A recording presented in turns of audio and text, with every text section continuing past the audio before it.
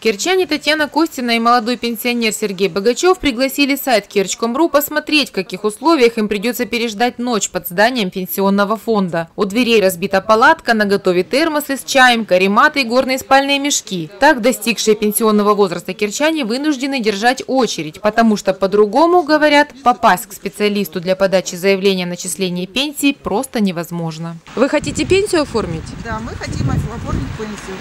Угу. То есть стукнуло 60? 60 пора уже на пенсию. Угу. И э, вы уже пытались попасть к специалисту? Несколько раз. Не, мы пытаемся пока попасть в очередь. Мы не можем в очередь попасть. Большая очередь? Ну, большая, да. Ну, мы 30-е, вот, ну, ближе к 30-му попадаем все время. Ну, в разное время приезжаем, но ближе ну, мы не можем попасть. А пропускается только 15 человек. То есть 15 человек в день, да? Угу. Поэтому мы не можем попасть никак. Так вы держите очередь свою, получается? Держим очередь, конечно, Я держу, будем держу очередь. А вы сколько уже дней держите очередь? Сколько вы дней держите очередь? Сколько дней? С четверга. Это вы что, ночуете здесь? Меняется. У нас, вот кто стоят в очереди, вот там текущая очередь, где-то до, до, до 50-60 человек очередь. И она идет. Вот утром где-то человек, вернее, за день проходит человек 15, да? Остальные тогда вечером собираются, переписываются. Кто не пришел или опоздал, тех вычеркивают.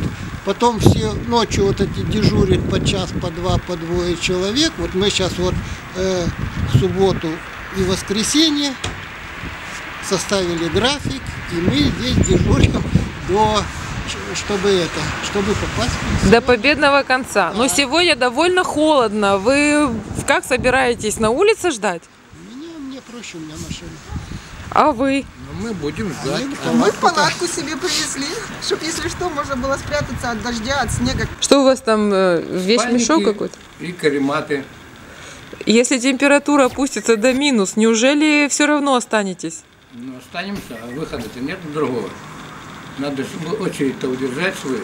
То есть это уже ваше последнее решение и назад дороги нет?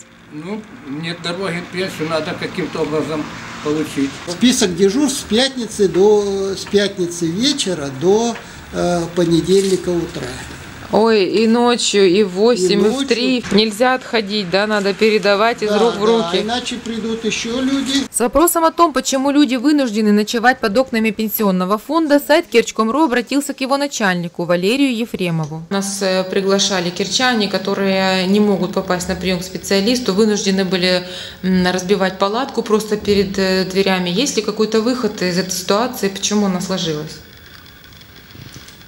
А, Спасибо за вопрос. Э, Действительно, э, ситуация у нас э, напряженная. Мы работаем э, в- очень тяжелых э, условиях, э, связанных с- ну, со следующим. Значит, э, до конца года э, граждане, которые имеют право на э, назначение пенсии с 1 января 2015 года, либо получившие право в течение 2015 года э, по 208 федеральному закону имеют право до конца года подать документы, и э, пенсия им будет назначена с, либо с 1 января 2015 года, если они получили право ранее на эту пенсию, либо с наступления пенсионного возраста в течение 2015 года. Поэтому как бы такой вот ажиотаж у нас сейчас э, происходит. Э, Может, это было сделать в течение всего 2015 года, у нас э, ситуация была намного лучше и спокойнее до этого. Многие, может, по каким-то причинам не могли к нам приехать, может, некоторые тянули до конца, и получилось так, что сейчас всем нужно до конца года а, к нам попасть и сдать заявление на новое назначение. Можно я перебью? Э, Говорят, что не могут попасть по два, по три месяца человек, с которым я разговаривала вчера вечером, 8 месяцев не может попасть. Также говорят о том, что долго ждут по полгода документов из архива. Вот почему они не могут попасть.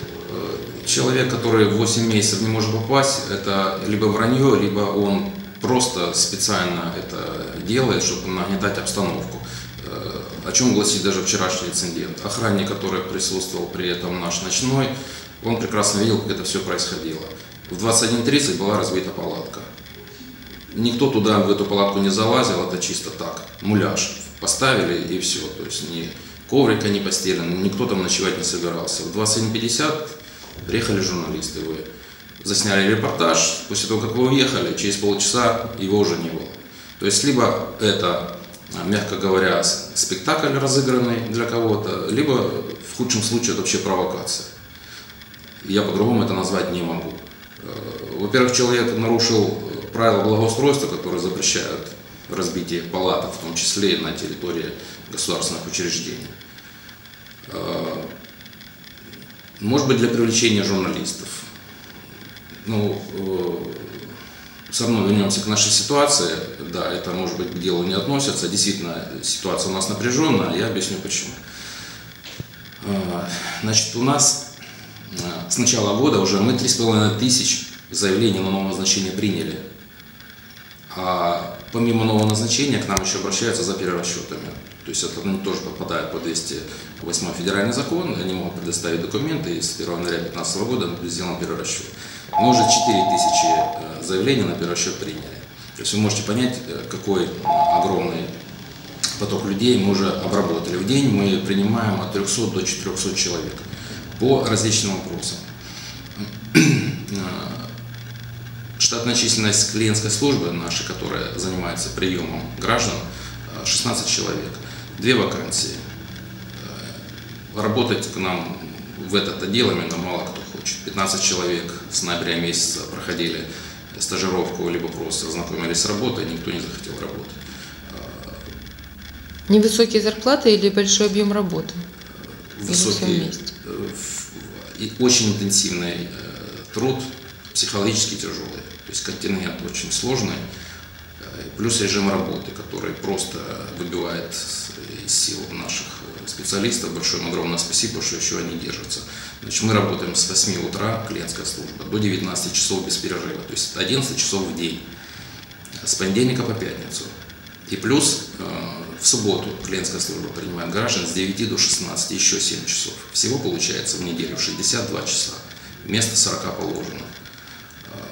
Конечно, плавающий график у специалистов, но все равно клиентская служба работает именно в таком режиме, вот 62 часа в неделю осуществляется прием граждан. Это для, сделано для того, чтобы максимально больше людей мы охватили своими услугами. А, мы по апрель месяц с начала года вообще работали без выходных. У нас мы работали до 10 вечера, и у нас еще воскресенье было рабочим днем. Естественно, люди просто устали, но функции, которые возложены на органы пенсионного фонда, в Керчи выполняются. То есть э, граждане принимаются. Э, в 21-22 кабинете занимаются новым назначением. Пять специалистов ведут прием граждан. Четыре по текущей очереди и один человек по э, предварительной записи. Почему один всего человек из пяти, ну, я вам объясню. Значит, по живой очереди специалист может принять в день в районе 12 где-то человек в среднем.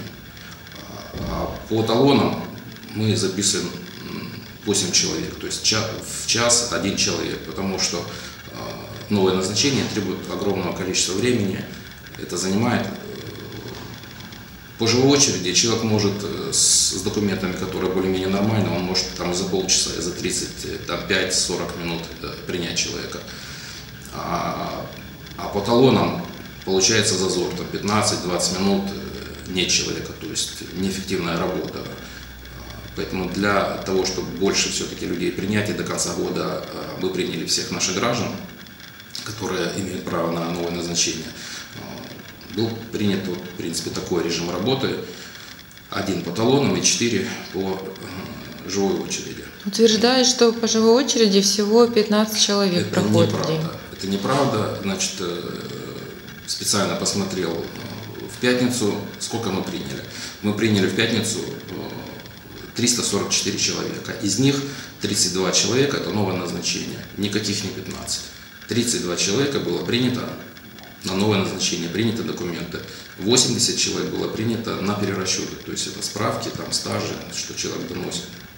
И плюс разные другие вопросы, это и продление МСЭК инвалидности, это федеральная социальная доплата, у нас 30 человек прошло, плюс прибывшие, выбывшие пенсионеры, которые к нам приезжают либо уезжают. Все это идет в клиентской службе, делается. Плюс разные другие льготные пенсии. И материнским капиталом мы занимаемся, и пособием на погребение оформляем. То есть огромнейший спектр а, работы, которую выполняют работники клиентской службы. Даже в отпуск на декабрь месяц мы никого не пускаем с клиентской службы, хотя люди уже просто вымотались и больше года без отпуска находятся, просто нет возможности. У нас даже было случай, когда два человека с температурой ходили, потому что просто невозможно, зная, что нужно помогать и работать, не могли сидеть дома. Поэтому вот такой режим работы. В ноябре месяце, к сожалению, э, Крым перестал получать практическую помощь от наших кураторов соответствующих. Керчь курировал Ставропольский край.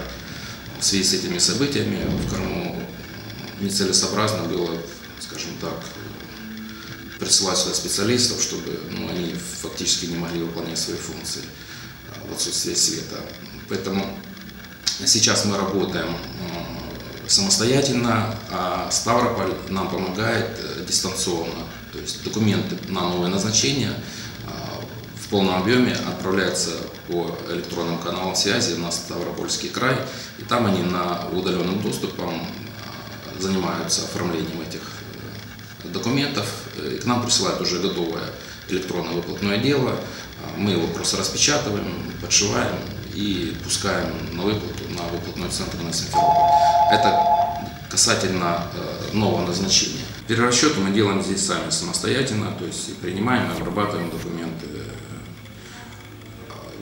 В районе 80% у нас отработанных э, материалов по назначению, по перерасчетам. Принять документы это одно, а еще более сложная задача их обработать. У нас отдел назначения пенсии как раз таки занимается этим, обработкой этих документов для того, чтобы э, современно и вовремя в полном объеме пошло на выплату данному человеку. Как можно ускорить, если возможно, э, вот эту очередь, которую они вот стоят и держат около сердца, и э, бывают, говорят, и драки, и неприятные ситуации по этому поводу?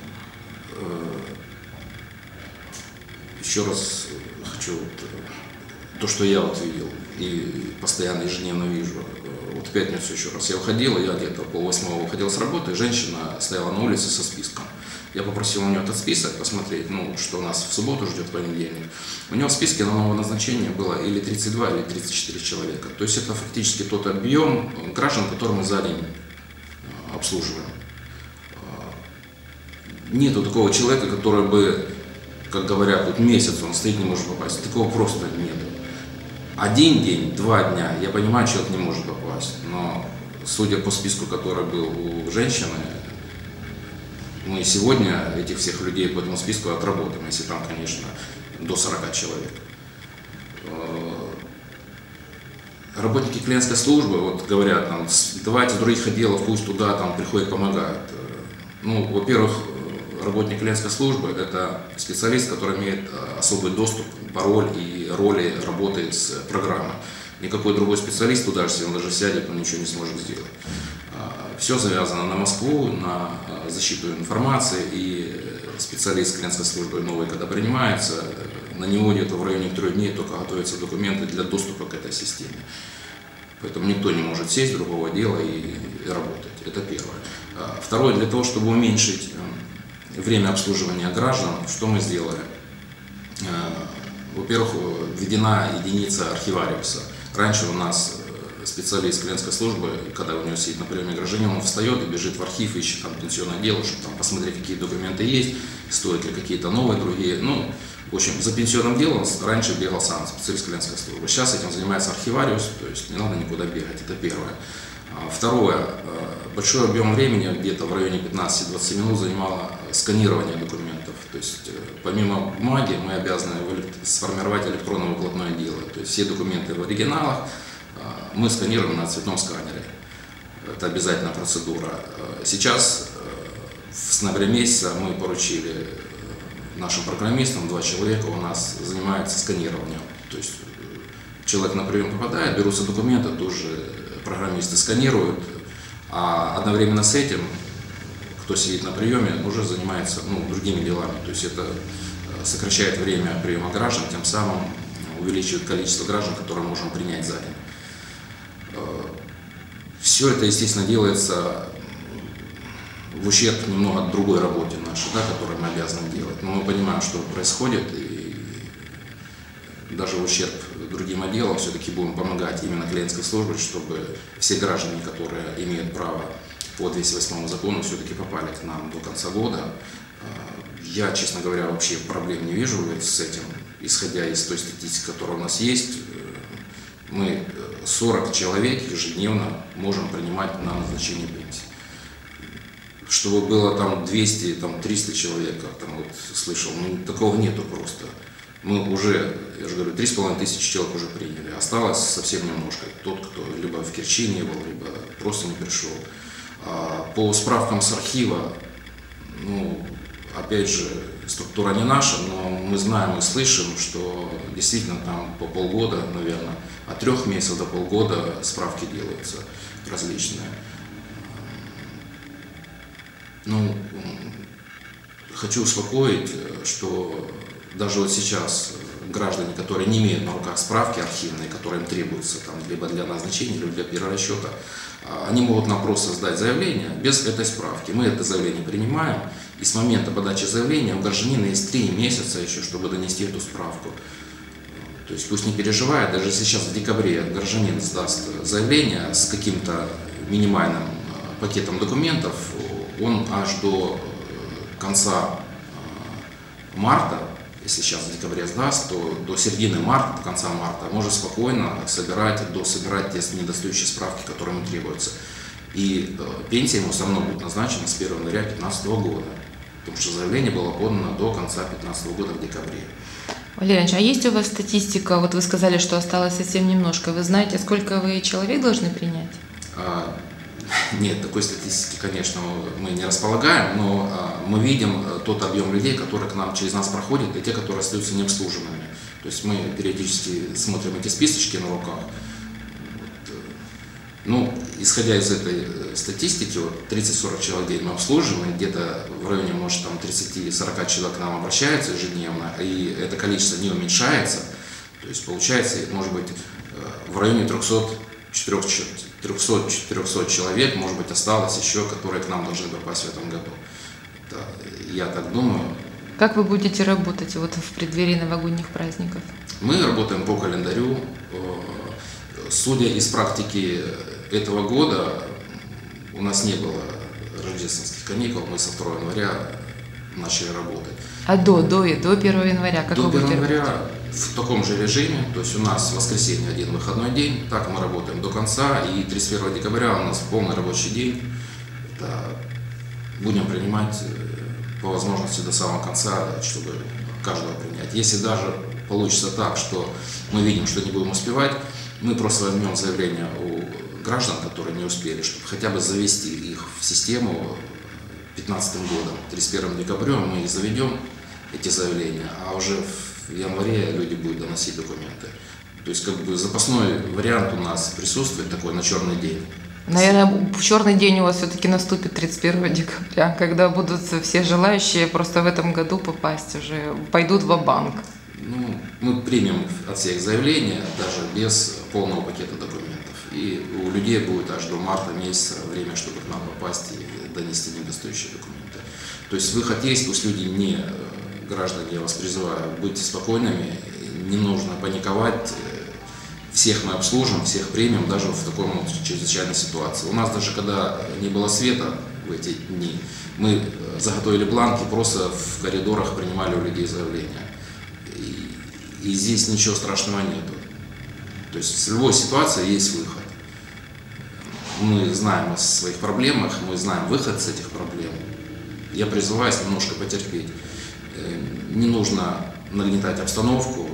Я вас просто умоляю, прошу. Я, я просто горд за то, что у нас 45 тысяч пенсионеров.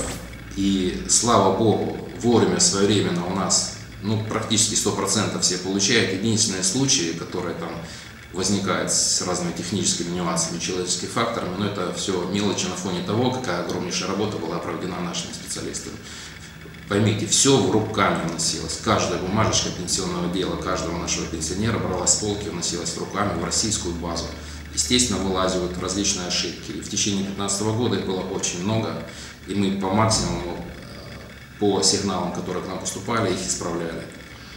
Осталось вот у нас маленький кусочек, это вот э, наш долг перед гражданами, которые получили право в 2015 году на новое назначение. Мы его выполним, будьте спокойны. Я вас просто прошу. Однако, несмотря на оптимизм начальника фонда, нервные очереди в кабинеты к специалистам не заканчиваются. Необходимость личного присутствия вынуждает горожан буквально на руках нести сюда неходячих инвалидов. Нужно оформить пенсию Ему по только. инвалидности. Дали первую группу бессрочную.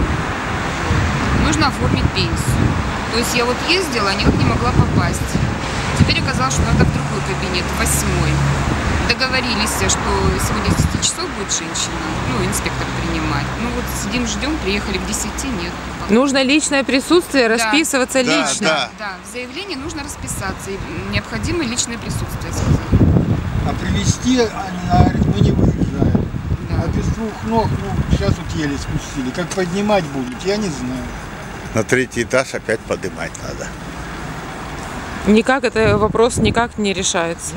Ну, нам сказали, что необходимо личное присутствие. Кирчане очень надеются на помощь специалистов из Ставропольского края, которые шефствовали над городским пенсионным фондом еще месяц назад. Без дополнительных рук очереди здесь не побороть.